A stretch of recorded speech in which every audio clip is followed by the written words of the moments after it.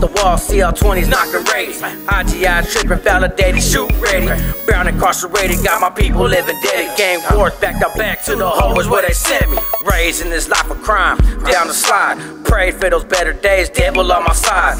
Gang life committed, but we dying over signs. Brown skin tatted up, but we wear that shit with pride. 25 to life cell, living up a row, hit the yard level. Hey, what's good with everybody, man? I hope everybody's having a productive day, feeling blessed, and like I always say, it's one life, one chance. We only got one chance to do this right. Let's get it done. I made four songs. One of the songs I made with a subscriber, I will be dropping it soon, so me and him can promote our YouTubes together. It was a good song, man. Appreciate the love. I appreciate the collaboration. I appreciate the support, as well as your guys' support. All my songs will be dropping this week. Did a music video as well. So a lot more to come, man. A lot more to come. I got more, more, more studio time to come, and I'm practicing and I'm making a lot more raps. So let's get into this next video. This next video is embarrassing. It's disgusting. I'm ashamed of myself, but I'm gonna tell you guys anyways, since you guys been inquiring. So this is for the inquiring minds. To start it off, fun fact. Anybody that's charged with S crimes has to register under under you know M law. I find it funny that um, Boxer is a what you would consider an S offender, but he's in a witness protection, protected by the U.S. Marshals. But his location can't be uh, located. But isn't that the law? Mind you, bear that in mind. Just food for thought. Thought about it. So with that being said, hit that subscribe button, hit that like, always leave a comment, let me know what you guys think, and bring the jokes, because I know the jokes are coming. Let's have a fun laugh. There was this time in Arizona when I was out there, and he's on one of my YouTube nail, YouTube thumbnails, and like my last two or three videos. There's four of us on the page. He's one of them. He's the shortest one, skinny one with a little mustache right here. He's from uh, San Jose, and um, one day he comes up to us. We're like in the we're in the room. We're playing a UFC Fight Club when Kimbo Slice came out in it that edition, and we're gambling. We're making money off you know the fights, and he's like, "Hey man, I'm gonna bust a spread, man. You guys want some?" He was a very uh, unfortunate inmate, should I say? He didn't have a lot of money coming, and um, this was his first package he ever received from his family. Most of it was like 70, 80 soups, some bags of chips, a couple of meat logs, couple bags of beans we were all balling out of control out there. I mean, I mean balling. We were buying because the canteens list was four pages long, front and back. So we were getting microwavable dinners like chicken, pot pies. We were eating good. So a regular spread like that didn't mean nothing to us. But we all knew that you know he was he was broke and he you know he didn't have money. His first package he wanted to bust a unity spread. That's what a lot of Northerners do. We bust a lot of unity spreads to show carnalismo. That's a form of unity right there. So we gave it to him. We already had just ate a Frito boat. We made like a bunch of Frito boats and we were full, but he wanted, he was like real adamant about making everybody a spread. So we're like, yeah, for sure, man, go ahead. Um, we got you. Well, we'll eat it. You know, we all wanted to show the love back. He goes in his cell for about 30, 45 minutes. And we're like, damn, man, how long does it take to make some soups and some beans? This shit took like five or 10 minutes, but he's gone. Well, I guess when he went to go to, the, the, to his room to to make the spread, he decided to use the restroom, pull out his uh, his uh, his banger, rewrap it, put it back up. No gloves on his hands.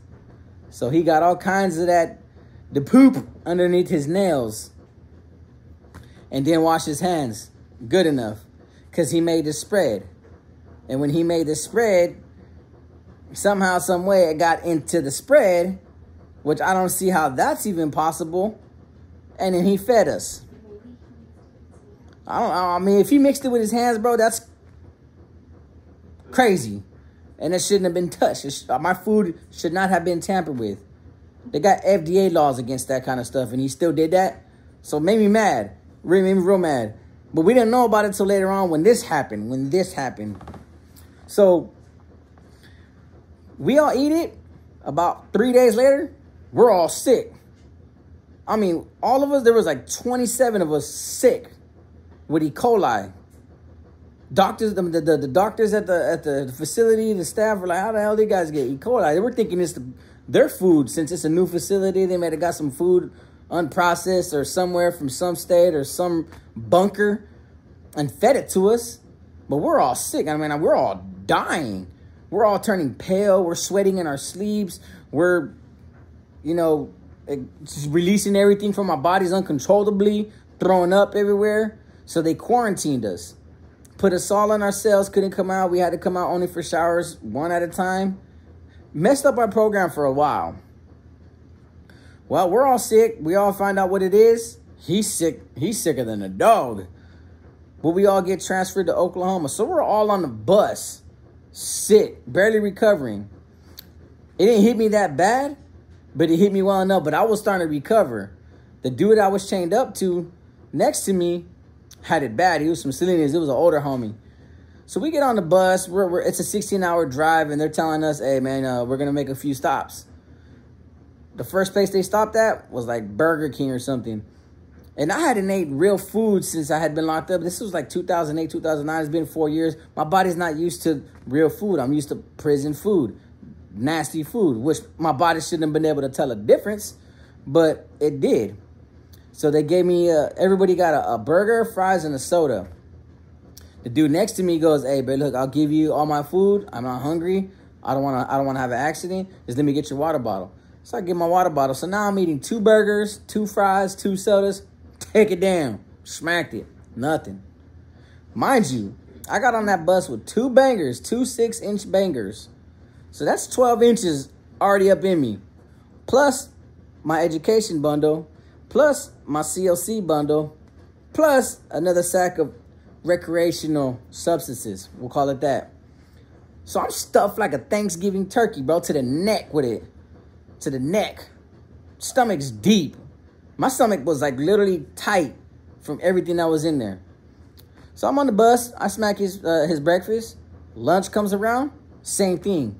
It was Arby's. We get burgers, some other stuff, and a drink. He doesn't want it. He wants my water bottle. I smack all that food too. I'm thinking, man, this is a once in a lifetime opportunity. I'm going to eat some real food. I'm going to enjoy this. Bad idea. Dinner time, same thing. I smack his food, give him his water bottle. So now I'm nodding off, man. I'm tired. I'm sitting there, and I remember just a bump in the road made me fart. So I looked at it, but I looked at him, and he seen that I farted, but I woke up, so I made it seem like he farted. So I scoot over away from him, like, bro, you, you know what I mean? You over here pooting on yourself. Knowing damn well I did it. But then I was like, man, bro, something don't feel right, man. My butt feels hot. Hot. Like steaming, boiling hot. And I'm like, no, no way, no way. Then my stomach started going. And I was like, oh God, I gotta go to the bathroom. God had to go to the bathroom, bro. Real bad. But I can't go to the bathroom on the bus because I'm waist I'm shackled up in waist chains, so my hands in the front, so there ain't no wiping. They told us that. That's why it's common practice when you know you're gonna get on the Greyhound bus, wake up in the morning, take a you know what I mean, get it all out your system and don't don't eat nothing on the bus until you at least get to the facility you're going. I wasn't thinking like that. I wasn't thinking that I had a 16 hour drive that I should have kept my stomach empty. So now my stomach's like I'm pregnant with an alien. And um I gotta go. And I still got maybe like seven, six hours left on this bus ride. So I'm I'm panicking. So now I'm just rocking back and forth, just trying to make my stomach stop from being uh, upset. And then next thing you know, I'm like, oh. Now my dude's the dude next to me chained up. He understands where I'm coming from, but the bus is starting to smell. And I'm low key like, without anybody noticing, I'm looking back to see if anybody's smelling it, but everybody's asleep. So I'm like, man, I'm, I'm good. I'm, I'm, I'm good. About maybe two hours away from the trip, I just feel the water and the juice just come down my leg. I was like, oh God, not again. We got, we finally get there now, and now now I smell like doo doo. The dude next to me, he can't stand the smell of doo doo, so he just the whole time driving, he's just like with his face, with his hands in his face. I'm like, wow, this is embarrassing. So we get off the bus. They put us in a little tank. Oh man, just my luck. I, well, first I went to the, little, it was like a little stall in the bathroom, and I told the homies to give me some postes, and I told my celly, I was like, hey, bro, I kind of pooped my pants. So he's laughing, right? And I got some toilet paper, and I'm just wiping my butt, but it's it's sticky. It's sticking on my left butt cheek. It's sticking on the back of my leg hairs. So I really can't clean myself, but I can just wipe whatever was left that I can wipe off, but it's still dry in the crack. I'm like, oh man. Guess what they tell us to do? Strip down butt naked so we can squat and cough. I'm like, oh my God, I forgot about this too, bro. I got a squat and cough with doo doo smeared all over my butt cheeks like somebody just wiped their hand on a wet window, a brown wet window. And, and it's all in my, dude, my, I can feel my leg hairs twisted and tangled up from the juice and the dryness. I'm like, oh, this sucks, bro. So I, they call me next to the cop, and I tell the cop, I'm like, look, bro, um, I had an accident on the bus, bro. I didn't make it in time to the bathroom. He's like, I still need you to strip out. I'm like, ah, damn. So I pull my boxers down. Bro, you see the whole back of just light brown dye. I was like, so I hand it to him and he sees it. He's like, just squat cough. I was like, bro, I haven't even got the chance to wipe yet. He goes, oh my God, you gotta kidding me, right? I was like, yeah, bro, I didn't make it to the bathroom. It's all over me, bro. He goes, just go stand over there and get dressed. I was like, I need some new boxers. He's all, get you some new boxers. So now I'm standing over there with both my hands cuffing my, my, my front area and everybody's fully dressed and I'm just standing there, bucket naked. Homies are like, what happened? I was like, I need new boxers. I had no choice but to announce it in front of a bus of 20 some people that I needed some new boxers. They bring me some new boxers. Cops just looking at me with like disgust. As if I ain't even looking at myself as disgust already. So he gives me the boxers. I change. I can't wait to go to the cell. Can't wait. But the whole time that I'm walking toward, man, they got me going to a far building, pushing a cart, and I'm bent over at the waist because I'm it's coming out. All the, the the the two pieces are moving together. They're like in the second pocket, not the first pocket. The first pocket's in your intestines. Second pocket is just right there by the by the you know what I mean? By the by the balloon knot. So I'm like, oh, and I'm crying. And then then they put me on the top tier on the top stairs, and I'm like, oh wow, bro, I gotta climb the stairs. So now I'm just like hunchback, like Herbert the pervert just trying to walk. Like telling myself, hey, just push the car to the door. When I get in there, I'm gonna drop it in the toilet, bro. I can't I can't go anymore. By the time I made it in there, what happens? It's like my butt knew there was a toilet there and it was ready to come out, but it didn't allow me to sit on the toilet in time. That was the only pair of boxes I had. So it goes, and I'm like, oh, and I pull my boxers down and it all hits the toilet. Man, it sounds like like like nukes and bombs just hitting water in the ocean. I'm like, whoo! But then everything else comes out. I'm talking about imagine your stomach that hasn't ate this kind of food in years, what it did to my stomach. So now I got the toilet full of cream. Uh, it, it, honestly, it looked like it looked like if you was sticky, like if you took the first layer off a pot pie that you warm up in the oven it was just all in the water like that, just brown. I'm like, ah. So I started digging my hands into it, grabbing everything, cleaning. Whole room, though. I'm pretty sure the whole tiers smelled like badoo And I'm like, ah, man, that's crazy, bro. So now I got messed up boxers again. I washed them in the in the sink, and now, now I'm just freeballing it all day and asking for a pair of boxers.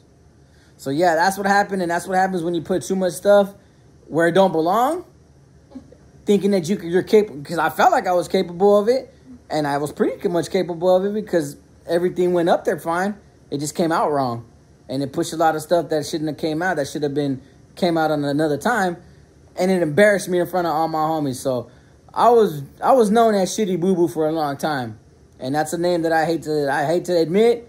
It's an embarrassing moment that I wish that I could never admit that I wish I never had, but it happened. And like I said, it was this wasn't my first time. Sometimes you know when you when you when you play with that area, you, you loosen it up. Sometimes you lose control of the of the axis of certain things coming out, and that's what happens when I poop my pants.